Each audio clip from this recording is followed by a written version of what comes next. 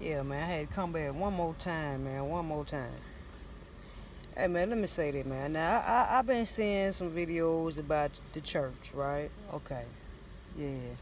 Yeah, we know the, the church has got a lot of contradictions in it. Why?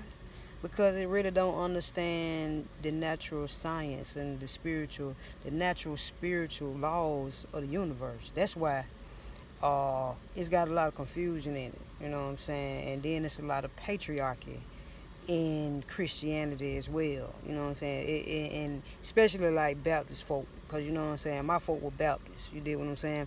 I went to a Baptist church with my grandmama. You know what I'm saying? Every Sunday. And I was in Bible study. So, really, you know, that kind of shit worked for some people. You did what I'm saying? Like, we ain't gonna sit here and cap like, you know, like that shit didn't work for some folks. You did what I'm saying? Because it, it really did. You know what I mean? Like, church really saved a lot of slaves' lives, dog. All they had was the church and prayer. And a lot of the, the, the, the freedom that they got was from singing songs that came from the church. And it helped to save each other. So we ain't gonna sit here and throw the church out completely. We ain't doing that, bro. Cause it's a lot of people that got saved through the church. You know what I'm saying? And believing in Jesus. It's a lot of people that did. My grandma was one of them people. You know what I'm saying? And I wouldn't be here today if it weren't for her and her prayers and her calling Jesus' name. So we ain't we not finna. Now I understand all that behind it, you, you know what I'm saying? Because really in true black blackism, there was no Jesus in the beginning. You know what I'm saying? It you know, it's only black people. You know what I'm saying?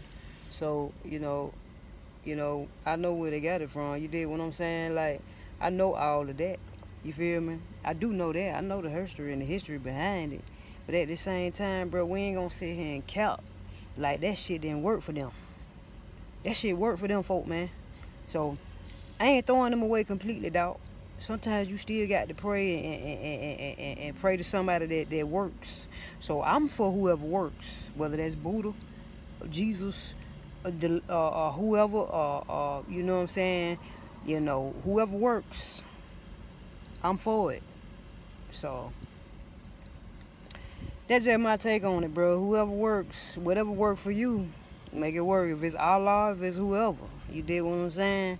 If it worked for you, and it ain't bothering nobody, and it's creating peace in your life, and it's giving you some type of understanding and clarity about who you are as a spirit being on this planet, hey man, I fucks with it. I fucks with it. So we ain't gonna throw the church out completely. I can't do it. You know what I'm saying? Cause my folk came from there, all the slaves and all that right there. My my grandmama them. You know what I'm saying? My mom, my mama, my grandmama. You know what I'm saying? Came up in church, so we ain't, we ain't doing that. So, but it is what it is, man. Y'all do it, make y'all. You know what I'm saying? Whatever work for you. You did.